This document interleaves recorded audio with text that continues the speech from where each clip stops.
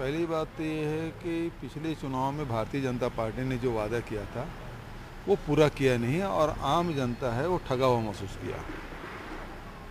अभी जो हम लोगों ने जो बात कही है कि जो आपको तीन सौ पैंसठ रुपया टी वर्कर्स देंगे, फिर 200 यूनिट तक की बिजली बिल मुफ़्त रहेगा।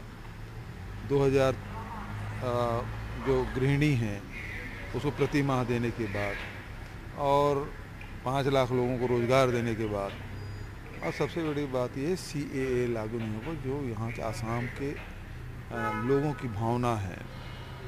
तो ये चार पाँच पाँच मुद्दे जो हैं, उसको गारंटी के रूप में हम लोग दे रहे हैं। और जैसे हम छत्तीसगढ़ में हमने लागू किया है, जो राहुल गांधी जी वहाँ जो वादे किए थे, उसे लागू किया, उसी प्रकार से यहाँ भी हम उसे लागू करेंगे। लोगों की विश्वास जगा भारतीय जनता पार्टी से मोह भंग हुआ और कांग्रेस प्रति विश्वास जगा है।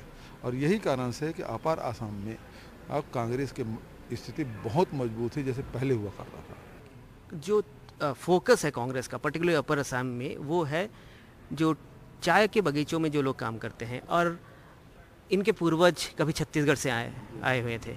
तो क्या ये पुराना जो कनेक्ट है जो डिस्कनेक्ट हो चुका है, फिर से उसको कनेक्ट करने की कोशिश है आपके द्वारा। देखिए, एक संबंध तो है, सौ, डेढ़ सौ साल पहले आए, लेकिन उनके रीति रिवाज, खान पान, रहन सहन, बोली भाषा अभी भी वही है।